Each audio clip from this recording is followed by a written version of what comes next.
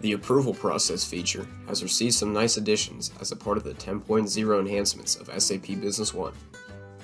Some new features have been added like the ability to have the authorizer update drafts in pending status, as well as additional new fields in various approval process screens.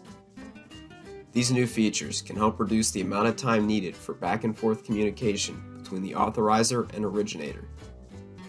Let's begin by navigating to Administration, System Initialization, General Settings to view the new approval process setting.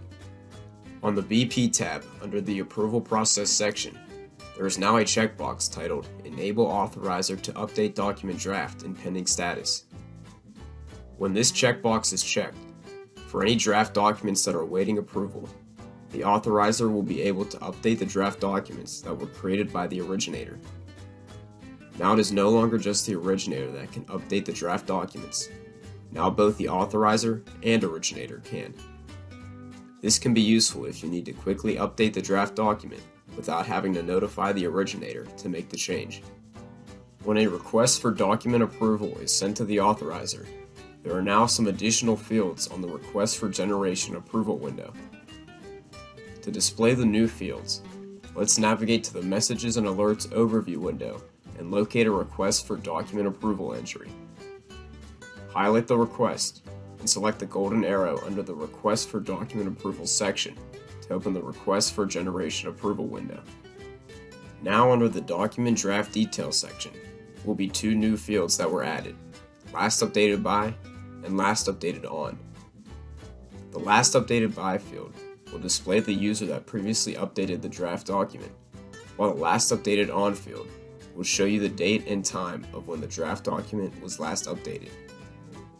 These new fields provide greater visibility as to when the draft was last updated and who updated it.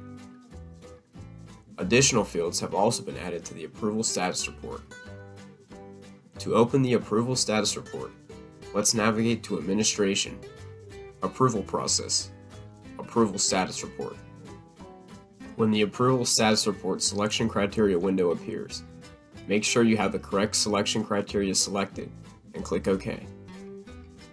Once you click OK, the Approval Status Report will open, if you notice towards the right side of the report will be the new fields, Draft Updated By, Draft Update Date, Draft Update Time, and Draft Remarks.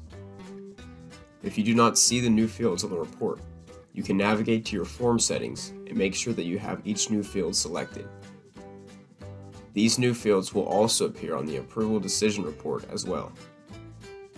Now let's go through a demonstration of how an authorizer can update a pending draft document and how the updates are reflected in the Approval Status Report. While you have the Approval Status Report open, you can simply click the golden arrow next to either the document draft number or draft key to be taken to the draft document. Once the draft document opens, you'll be able to adjust the draft document accordingly and click the Add button at the bottom. Clicking on the Add button will not add the draft document. It will simply update the draft since it is in pending status. After you click Add, there will be a message at the bottom stating that the draft document has been updated. Now if you reopen the Approval Status Report, you will notice that the draft now states that it has been updated by Jason instead of Bill since we recently updated the draft document. The new features that have been added to the approval process functionality in version 10.0 of SAP Business One are great for offering better visibility and can reduce the amount of time it takes to approve a document in your system. Join us as we help you learn more about what SAP Business One has to offer by clicking the subscribe button and turn on post notifications so you never miss a new video. As an SAP Gold partner, LBSI can help you take full advantage of everything the system has to offer. To get in contact with us, visit our website at www.lbsi.com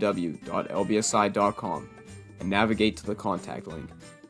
You can also email us at sales at lbsi.com for sales related inquiries or SAP support at lbsi.com if you're an existing client in need of support assistance.